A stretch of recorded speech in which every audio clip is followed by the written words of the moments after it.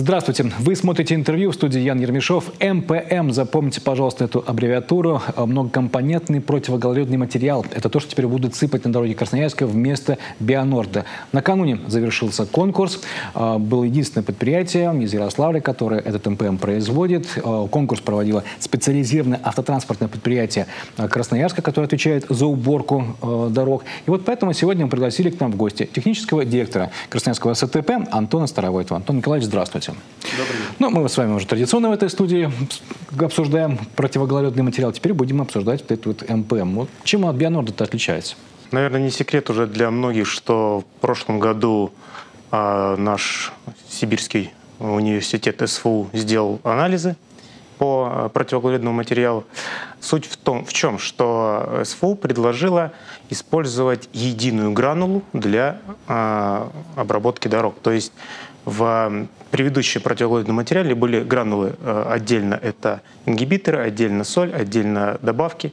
Здесь же СФУ предложила использовать в рамках своих там лабораторных исследований и в, э, и в различных там, проб, они предложили использовать именно единую гранулу. А, уже на, на это... основании этого нами было написано техническое задание на закупку mm-hmm. данного противогололедного материала. Рассмотрев э, заявку, посмотрев, что мы хотели, что они предложили, все это соответствует. Понятно. А я просто единственное пытаюсь разобраться. Вот в чем принципиальное отличие? Понятно, что здесь одна грамота, там несколько. А... В, действии-то в чем принципиальное отличие? Действие на сегодняшний день, вот, э, чтобы мы не брали любой противогололедный материал, он весь состоит в принципе из одних и тех же ингредиентов, давайте так скажем. Это соль, различные соли, там э, различные добавки, различные ингибиторы.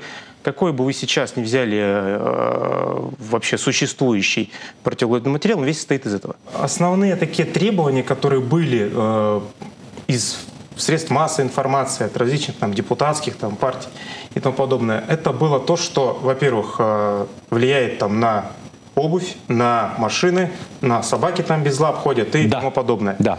Вот. Но э, из этого из всего мы предложили СФУ сделать анализ. Что все-таки где-то не так? Потому что мы же тоже а, а, из, использовали этот противоголодный материал в рамках, как сказать, вот э, есть ГОСТ, мы взяли то, что нужно для ГОСТа, и начали использовать его. Но э, после того, как провели анализ, после того, как СФУ сделала какие-то замеры, сделала заборы и все остальное, они пришли к выводу, что для более правильного плавания льда, для уменьшения нагрузки на почву в виде соленой, э, засаливания, для уменьшения вреда для автомобилей, для ну, коррозии имеется в виду, для э, обуви, для всего остального нужна именно вот такая гранула, которую они э, нам предложили. То есть, сказать, делая выводы из того, что вы сейчас говорите, этот химический а, состав он практически идентичен тому, что было в Бионорде, но за счет того, что это единая гранула и будет таять все вместе, а не там куча одной соли, а здесь куча одной ингибитора, мы получим меньшее воздействие на обувь, меньшее воздействие на автомобили и на почву. Да. А, ну, Утверждать я пока не могу, потому что э, вот это будет сейчас у нас в рамках именно первого года. Понятно. Вот сейчас вот, посмотрим, вот теперь, как это будет Вот теперь э, смотрите. Ну, э, сколько мы это использовали Бионорд, по-моему, три года, ну, да? три года. Да, три года. Ну, чуть-чуть не дотянули до трех да. лет. Два с половиной. А, два с половиной года мы использовали. А, все-таки так или иначе какая-то технология, она отстраивалась. Какая э, была еще претензия к э, вашей компании, к автотранспортного предприятия, то, что засыпать-то засыпали, но потом не убрали. И это говорили, кстати, и специалисты, и в том числе и производители самого Бионорда тоже говорили, что надо после того, как ты все это просыпал, пройти и убрать, чтобы не было луж, чтобы не замерзало, чтобы и так далее. И так далее. Вот технология здесь, как она будет отстраиваться? В этом году, летом этого года, мы полностью переделали и перестроили щеточный цех в нашем предприятии. То есть перешли на э, щеточный цех. Это цех, который э, набивает щетки для КДМ, для, автомобиль, для дорожных машин, которые прометают дорожное полотно. То есть на каждой КДМ у нее впереди отвал, посередине ее щетка, а сзади Для этого специальный цех? Да, специальный цех. Почему? Потому что расход ворса очень большой. Потому что в связи с применением данного противоположного материала нужно очень много и постоянно прометать дороги, Так, чтобы что, они были чем... в сухом да, состоянии. Да, вот. Соответственно, а, предыдущие автомобили у нас были щетки намотаны, то есть это ворс наматывался на вал. А процедура намотки достаточно долгая, то есть, соответственно, машины не так быстро можно переобувать, ну, так скажу техническим выражением, переобувать, то есть менять щетки, выпускать в линии. На сегодняшний момент у нас цех полностью переделан. Мы ушли от наматывания, ушли на кассетную систему, то есть просто снимается вал, набивается кассета, ставится вал. То есть это очень быстро, очень просто и достаточно надежно. То есть если раньше у нас на одну щетку уходило там порядка нескольких часов, чтобы одну щетку набить, да и поставить на КДМ-ку, соответственно, машина стоит, ждет, ее не в, она не в городе, она, она без щетки, да, она стоит, ждет, пока ее намотают, набьют. Что сейчас у нас, во-первых, подменный фонд мы сделали, машина приехала, тут же скинула свою старую стертую щетку, мы на нее поставили новую, эту быстренько отдали, набили, и она поехала. То есть уже запас есть. То есть это быстро, просто и эффективно на сегодняшний момент. То есть мы вот к этому пришли, что нам нужно больше, чаще прометать содержать уличную дорожную сеть именно в сухом состоянии, чтобы на ней как можно меньше было вот этих луж, слизи и вот тайного снега. То есть э, сейчас машины будут появляться на улицах уборочные чаще? А, ну, чаще и эффективнее. Закупки на 9 тысяч тонн, да, этого материала? Да, примерно. Э, сумма, если я не ошибаюсь, где-то 172 миллиона рублей. Э, сразу будет закуплен полностью весь материал? Нет, это по мере необходимости, потому что а, мы не предполагаем и не знаем, какая у нас будет зима. То есть э, последние годы все равно у нас снега было меньше, чем, допустим, в какие-то э, времена до э, этих вот последних двух лет.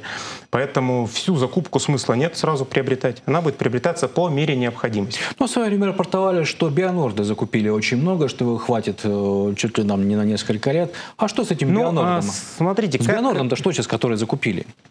Да его осталось не так уж и много. Не так уж и много, это сколько примерно? Ну, сейчас я не готов точно сказать, то есть в мешках стоит. А, пока мы же не предполагали и не знали, когда у нас начнется снег в, наших, в наших условиях. То есть, может быть, он бы начался в конце сентября, а у нас, к сожалению, контракт еще не, расто, не разыгран. Вот это. Даже сегодня вот он разыгран, сегодня контракт на новый противоголодный материал, но его еще не привезли, еще не поставили, еще не успели даже на платформу загрузить. Потому что еще... Ну, ну к этому вопросу мы еще вернемся. Да, да, что соответ... соответственно, Пока ничего, пока он стоит. Но если бы сегодня, или, допустим, вчера, или неделю назад выпала там э, месячная норма снега, это возможно, то чем бы мы убирали город? Засыпали бы все это песком, ну, это тоже не, не вариант. Почему не вариант? Ну, потому что в данных вот именно условиях, когда у нас вот такая вот погода 0, минус 1, плюс 2, э, сыпать песком, ну, во-первых, это неэффективно, потому что песок моментально вмерзнется во всю вот эту вот э, жижу и превратится просто в накат его надо топить. А, то есть, чтобы, чтобы дорожное полотно растаяло и был чистый асфальт.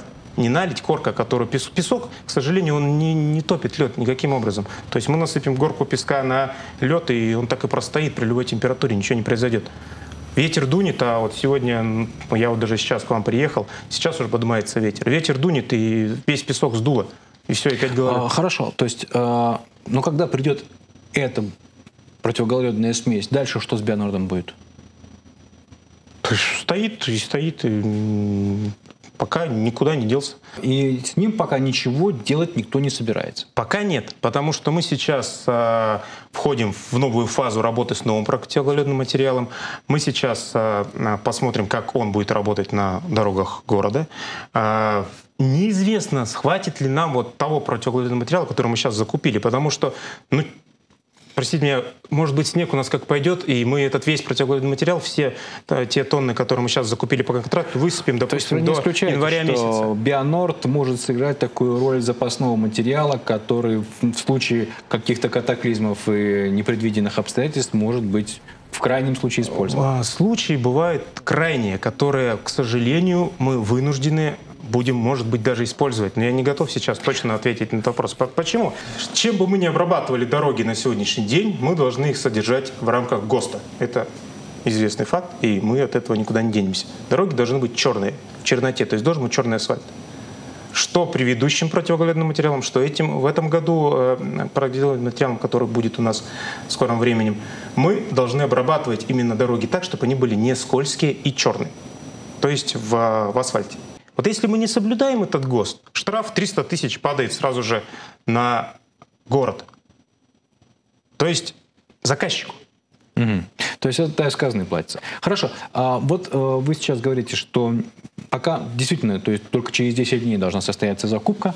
А пока это все придет э, в Красноярск, э, как будете сохранять дороги?